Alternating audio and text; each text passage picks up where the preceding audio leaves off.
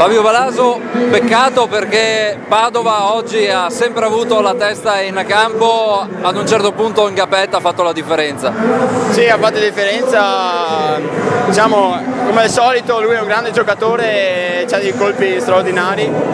Abbiamo un po' sofferto in ricezione, però siamo stati bravi anche a tenere alcune volte le loro battute forti e niente, noi abbiamo giocato al meglio, potevamo fare qualcosa di più sicuramente e vabbè, è andata così, adesso vediamo domenica come andrà. Sì, Padova ha dimostrato che insomma Modena, soprattutto magari anche grazie a diverse mancanze, questa Modena comunque non è imbattibile. No, non è possibile, è possibilissimo farlo e anche se gli mancava Vettori comunque è una grandissima squadra e noi comunque siamo, siamo sempre là con la testa e dobbiamo fare il possibile adesso domenica. Peccato perché insomma questa sfida non era poi così impossibile come magari ci si poteva magari aspettare alla vigilia. Sì, diciamo abbiamo espresso un bel gioco per momenti, abbiamo fatto molto bene il secondo set.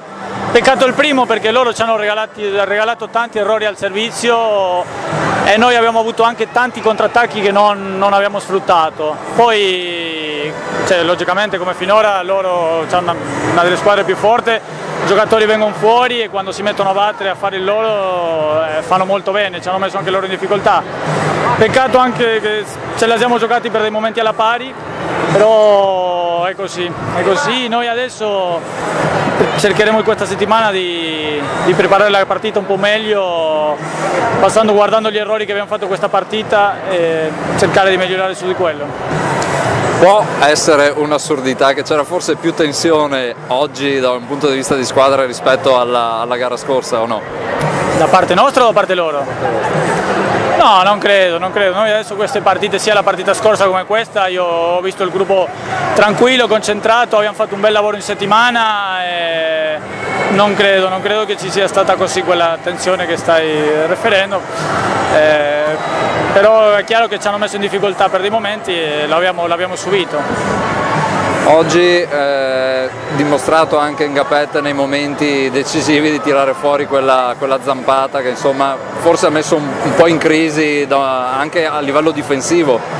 Sì, sicuramente, lui oggi ha fatto chiaramente la differenza, ma non solo in attacco, ha difeso dei palloni e ha battuto molto bene, credo che è stato il miglior giocatore loro, non siamo riusciti a fermarlo forse una sola volta, eh, però ha dato, lui ha dato un gran contributo alla squadra facendo anche delle difese importanti e complimenti a lui. Eh, secondo me è uno che è meglio lasciare stare e non andare a, a stuzzicarlo perché più lo fa e gioca meglio, quindi un punto, un punto a rivedere per noi.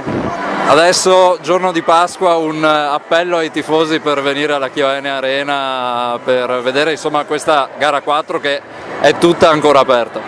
Sì, sicuramente. Secondo me questo è una è aperta ancora, sono aperti perché in casa abbiamo dimostrato un bel, giochi, un bel gioco, oggi abbiamo giocato molto bene nonostante il risultato gara, gara 4 sicuramente sarà aperta, noi cercheremo di migliorare un po' il servizio che in casa di solito battiamo un po' meglio e invitiamo a tutti, vogliamo vedere un Chio N Arena pieno per cercare di portare questi playoff a gara 5.